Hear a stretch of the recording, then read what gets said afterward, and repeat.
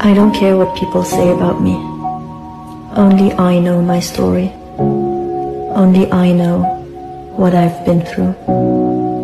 I was born to be authentic and not to please everyone.